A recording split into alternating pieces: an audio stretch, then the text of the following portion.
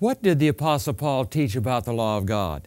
Did he teach that it was done away with for Christians and you didn't need to keep it? Did he teach that only the Jews needed to keep it? Or did he teach that the whole world was under the jurisdiction of the law of God so that everybody needed to keep it? What did he teach? Stay tuned, we'll see. Welcome to Steps to Life with Dr. John Grosboll. Sabbath rest is a promise between God and His children.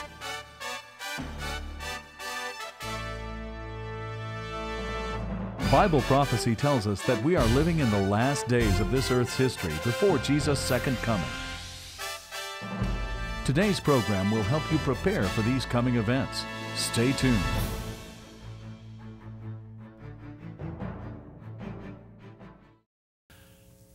Thanks for joining us. Before we look in the scriptures to find out what did the apostle Paul teach about the law of God, let's pray and ask the Lord to help us understand what we're going to read from his holy book. Father in heaven, we thank you for the Bible. We thank you for Bible prophecy that helps us to understand what is going to happen in the future and how to be ready for it. And we earnestly pray that your Holy Spirit will teach us the truth as we open it and read it now. We pray in Jesus' name. Amen. Welcome to today's program. Numerous surveys and questionnaires have confirmed that the most popular form of modern skepticism is to deny the creation story. Today's free book is entitled Why God Said to Remember. To receive your free copy, simply call 1 800 The Truth and ask for offer LS28. Call now to receive your book. And now, Pastor John Grosboll. In Acts, the 15th chapter, we read that there were some people that came and taught the Christians in Antioch that unless you were circumcised according to the manner of Moses, you could not be saved. This is what it says. And certain men came down from Judea and taught the brethren, Unless you are circumcised according to the custom of Moses, you cannot be saved. Therefore, when Paul and Barnabas had no small dissension and dispute with them, they determined that Paul and Barnabas and certain others of them should go up to Jerusalem to the apostles and elders about this question. So, we read then in verse 5, it says, Some of the sect of the Pharisees believed, rose up, saying, It is necessary to circumcise them and to command them to keep the law of Moses. Now, it was decided by this Jerusalem council that it was not necessary to require the Christians to keep the law of Moses and to be circumcised. And the Apostle Paul made some very strong statements concerning this in his letters. And as a result of these statements in Paul's letters and this what is mentioned here in Acts, the 15th chapter, some people have concluded that the Apostle Paul taught that Christians don't need to keep the law of God. Let's read those strong statements and see exactly what they say. First of all, in the book of Ephesians, the second chapter, we read this. It says, For he himself, that is Christ, is our peace, who has made both one and has broken down the middle wall of division between us, that is, between the Jews and the Gentiles.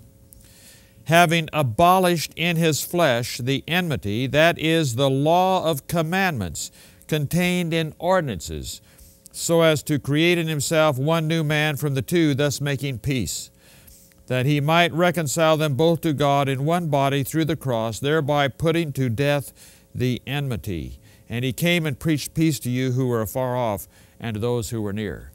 It says here in verse 15 that Christ abolished in his flesh the enmity, that is, the law of commandments contained in ordinances. So, people have said, see, it says that Christ abolished the law of commandments contained in ordinances, so we don't need to keep the law of God.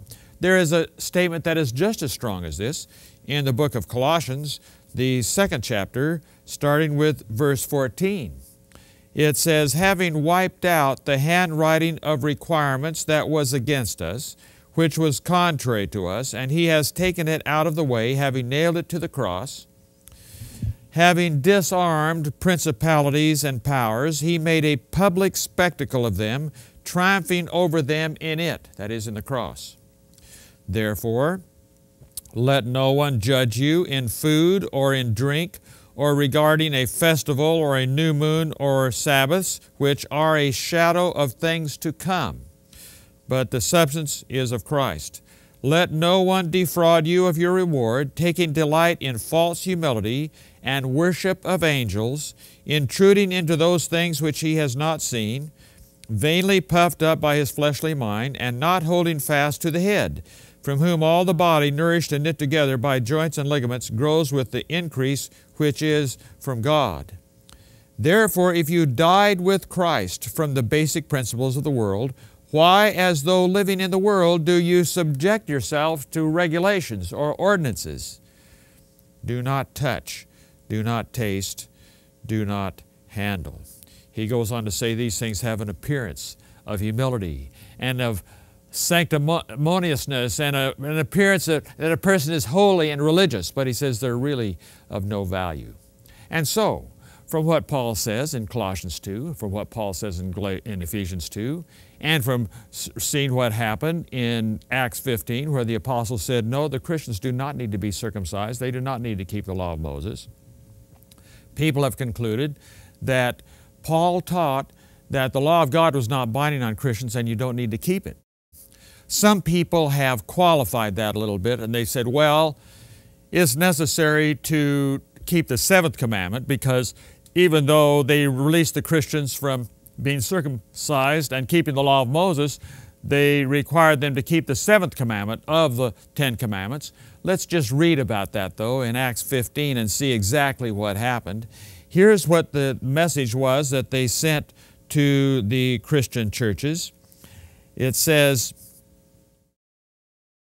It seemed good to the Holy Spirit and to us to lay upon you no greater burden than these necessary things that you abstain from things offered to idols, from blood, from things strangled, and from sexual immorality. If you keep yourselves from these, you will do well. Farewell. So, people say, see, it is mentioned that Christians do need to keep the seventh commandment, but none of the rest of the commandments are mentioned. But that's not hard to understand if you understand what was going on in the nations of the ancient world. You see, the nations of the ancient world knew that it was wrong and they had strict penalties against a person who would steal his neighbor's wife. They had strict penalties in the nations of the ancient world against adultery, against taking somebody else's spouse. They knew that was wrong. But the nations in the, in the ancient world, many of them, did not think that fornication was wrong. They knew that adultery was wrong. They knew that it was wrong for you to take somebody else's wife. But they thought that if you went and had sexual relations with somebody that wasn't married, that it didn't matter.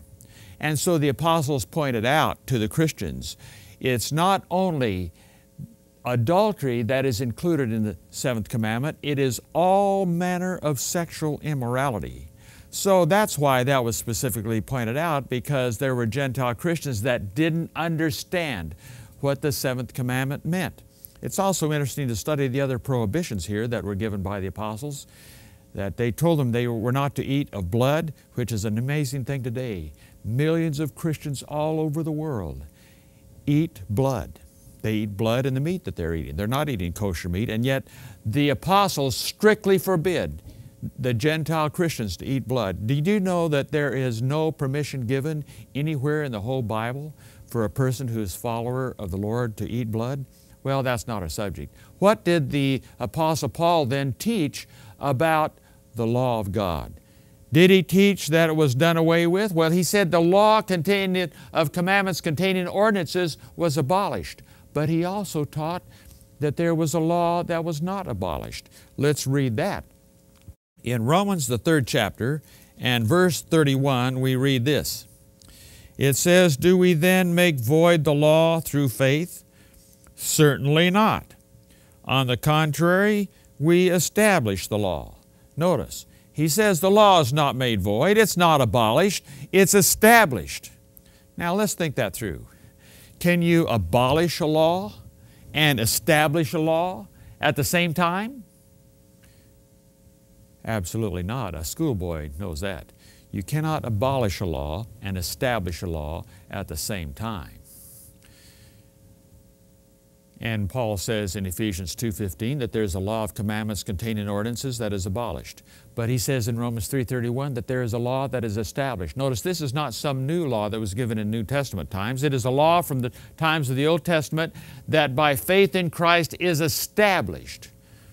Now let's think through how is it what law is established by faith in Christ? Paul says that where there is no law, there is no transgression. Romans 4:15. And he says in Romans 7 that if, there, if the law wasn't there, I wouldn't even know what sin was. Because as John says, sin is the transgression of the law. And why did Jesus have to die on the cross? Why was that necessary? Why couldn't God save the human race without that? Well, notice what Paul says about it to the Corinthians. 1 Corinthians 15, verse 3 he says, I delivered to you first of all that which I also received, that Christ died for our sins according to the Scriptures. Why did Christ die? Christ died for our sins. What is sin? You would think that everybody in the world by today would know what sin is, wouldn't you? But many do not. Sin, the Bible says, is breaking God's law. If God does not have a law, or if the law is not in effect, then there isn't any transgression, then there isn't any sin. If you don't have a law, then there isn't any sin. And if you don't have a sin, you don't need a sacrifice, you don't need a gospel. The gospel is to save men from sin. Remember, sin is breaking God's law. So the gospel is to save men from breaking God's law.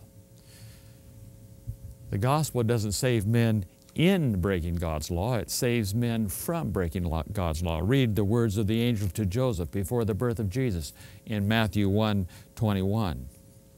So, there was a law that was abolished when Christ came a law having to do with ordinances, Paul says, a law having to do with foods and drinks and feast days and different things, yearly ceremonies you can read about in Leviticus 23. Those things were done away. Those were temporary laws that were given that were prophetic of things that would happen in the gospel dispensation in the future.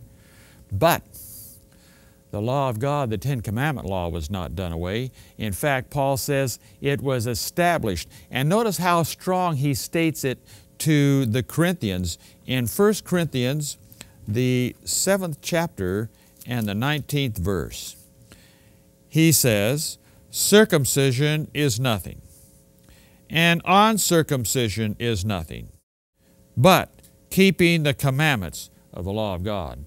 Or many translations add the words, keeping the commandments of God is what matters or is everything. That's in the context, but that word is not in the original text. Circumcision isn't anything. Whether you're circumcised or whether you're not circumcised is not the issue. The issue is do you keep the commandments of God? That is an issue. He says that is what matters. 1 Corinthians 7 19.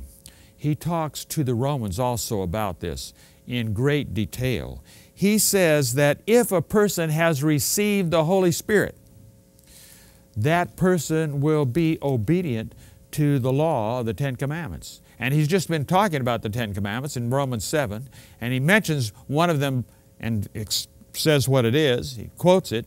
And then he says concerning this law, he says, if you've received the Holy Spirit, you'll be obedient to it. Let's read that. This is, this is in Romans 8, verses 1 to 4 says, There is therefore now no condemnation to those who are in Christ Jesus, who do not walk according to the flesh, but according to the Spirit. For the law of the Spirit of life in Christ Jesus has made me free from the law of sin and death. For what the law could not do in that it was weak through the flesh, God did by sending His own Son in the likeness of sinful flesh. On account of sin, He condemned sin in the flesh that the righteous requirement of the law might be fulfilled in us who do not walk according to the flesh, but according to the Spirit. Notice, Paul said that those that do not walk according to the flesh, those that walk according to the Spirit, those people that are filled with the Holy Spirit, the righteous requirement of the law will be fulfilled in their life. Is the righteous fulfillment is the righteous requirement of the law being fulfilled in your life? if you are filled with the Holy Spirit, Paul says, the righteous requirement of the law will be fulfilled in your life. Romans 8 4. Well, what about the person that's not filled with the Holy Spirit? Well, Paul says that person's not going to keep the law. In fact, he says a person that has a sinful nature, who has not been converted, who has not received the Holy Spirit, that person can't keep the law of God. Notice how he states it. This is Romans, the eighth chapter. He says, For to be carnally minded, fleshly minded, is death, but to be spiritually minded is life and peace. Because the carnal mind is enmity against God, for it is not subject to the law of God, nor indeed can be. Notice, he says the carnal mind. The person that's not converted, that person is not subject to the law of God. In fact, it's impossible, nor indeed can that person be subject to the law of God. But then he goes on to say, that's not your situation. You've chosen to follow Christ. You're filled with the Holy Spirit. As many as are led by the Spirit of God, they are the sons of God. Now, the Apostle Paul, though, taught that there was coming a time in the future of the Christian church when multitudes of people who would consider themselves Christians would violate the law of God and still expect that they're going to go to heaven anyway, even though they were living in deliberate violation of the law of God. Now, how can that happen? The Apostle Paul predicted that such a thing was going to happen in the Christian church. Stay tuned and we'll read what he predicted. Welcome back. The Apostle Paul taught that there was going to be an Antichrist power that would enter the Christian church and cause and teach Christians to break the law of God. Actually, the Apostle Paul was not the first one that predicted this. This is predicted clear back in the Old Testament. If we go to the book of Daniel, for instance, in Daniel, the seventh chapter, and verse 25, the prophet is talking about the Antichrist. We know that he is because he says that this power will speak great words against the Most High God. This is how, it's, how it reads in Daniel 7, verse 25. He shall speak pompous words against the Most High, shall persecute the saints of the Most High, and shall intend to change times and law. Then the saints shall be given into his hand for a time and times and half a time. So it says here in Daniel 7 that there is going to arise an Antichrist power that will speak great words against the Most High, and that this power is going to intend, it's going to be their intentional purpose to change the law of God, to change the times and the laws of God. It says here to change, Daniel 7 25, he shall intend to change times and law. The Apostle Paul talks about this same Antichrist power in his letters. If you look in the Apostle Paul's letter to the Thessalonian church, the second one, 2 Thessalonians 2, this is what he says. Now, brethren, concerning the coming of our Lord Jesus Christ and our gathering together to Him, we ask you not to be soon shaken in mind or troubled either by spirit or by word or by letter, as if from us, as though the day of Christ had come. Let no one deceive you by any means for that day will not come unless the falling away comes first and the man of sin is revealed, the son of perdition. The Apostle Paul here predicts that the second coming of Christ is not going to occur in his day. It's not going to occur in the days of the apostolic church. It, before that happens, there's going to be a great apostasy first, a great falling away, and the Antichrist is going to be revealed. And notice how he describes it. He says, this Antichrist, or man of sin, who opposes and exalts himself above all that is called God or that is worshiped, so that he sits as God in the temple of God, showing himself that he is God. The Antichrist will sit in the temple of God. Now, if we look back in Ephesians 2, verses 19 to 22, the church of God is likened to a temple. A temple is a building where a deity resides. The church is to be a temple for the indwelling of God, but the Antichrist is going to sit in the temple. In other words, in the church. the Antichrist is going to arise in the church and he's going to exalt himself above every God that is worshiped and he's going to show himself that he himself is God. And then he says this Do you not remember that when I was still with you, I told you these things? And now you know what is restraining, that he may be revealed in his own time, for the mystery of lawlessness is already at work. Only he who now restrains will do so until he is taken out of the way. And then the lawless one will be revealed. Notice, the Antichrist is described here as the lawless one. In Daniel, the Antichrist is described as a power that intends to change times and law. Here is described as a lawless power, a power that teaches people to break God's law. And how long is this Antichrist power going to continue? It's going to continue until Jesus comes in the clouds of heaven, and then it's going to be destroyed. This is what Paul says. Notice what he says. He says, Then the lawless one will be revealed whom the Lord will consume with the breath of his mouth and destroy with the brightness of his coming.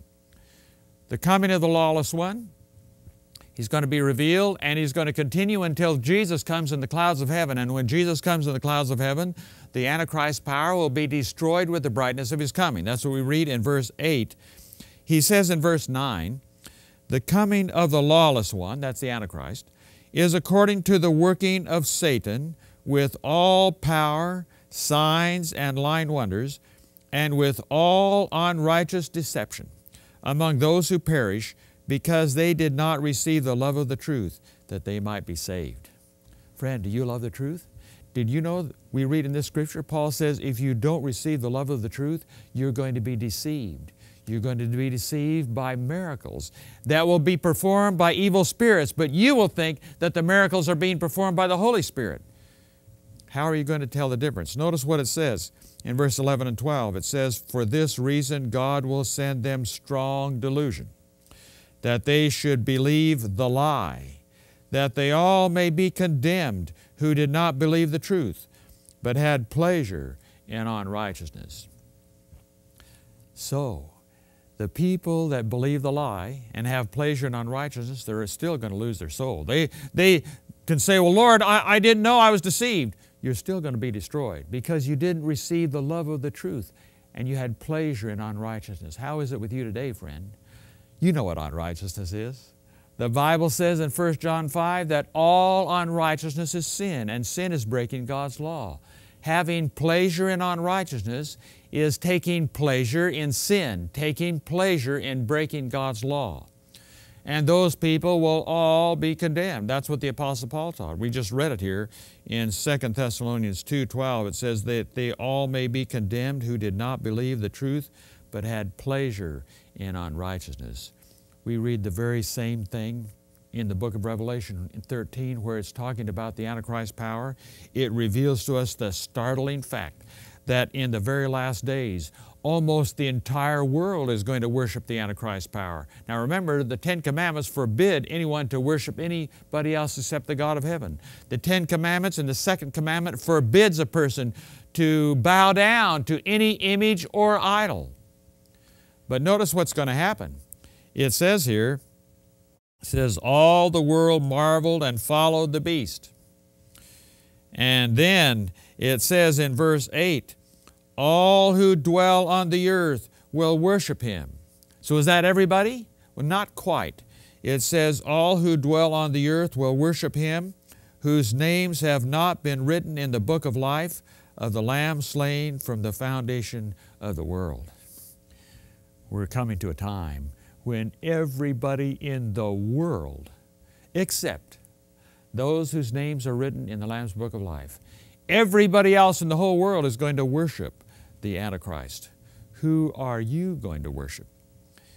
In Revelation, over and over again, it is pointed out that in the last days, the dividing line that will divide the peoples of the world into two groups is on one side will be those that keep God's commandments, and on the other side will be those who worship the Antichrist and the image of the Antichrist, as you read in Revelation 13 and 14.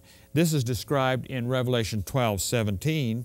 It says here in Revelation 12 17, that the dragon, that's the devil, the dragon was enraged with the woman. The woman is God's people. And when he went to make war with the rest of her offspring who keep the commandments of God and have the testimony of Jesus Christ. The devil is enraged with those that keep God's commandments, and he goes to try to destroy them. And you read about how he tries to destroy them in Revelation 13. He causes a law to be passed that if you don't worship the Antichrist and the image of the Antichrist, you're going to be killed. So the devil's going to try to destroy every person that keeps God's commandments. But God's children will still be keeping His commandments because we read in Revelation 14 12, it says, Here is the patience of the saints. Here are those who keep the commandments of God and the faith of Jesus. Oh, friend, that is where our world is tending. We're headed toward a gigantic spiritual crisis in our world that is going to divide the whole world into two camps.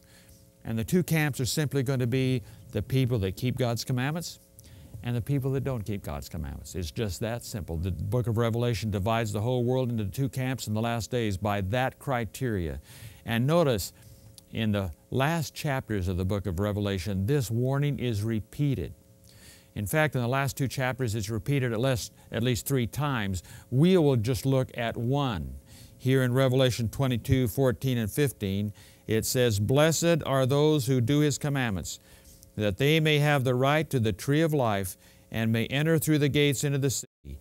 But outside are dogs and sorcerers and sexually immoral, that th- those that break the seventh commandment, and murderers, those that break the sixth commandment, and idolaters, those that break the second commandment, and whoever loves and practices a lie, those are those that break the ninth commandment. You see, the final analysis, whether you're on the inside or whether you're on the outside in the last generation, depends on whether you are loyal to God's law. And the Apostle Paul taught the very same thing in 2 Thessalonians 2.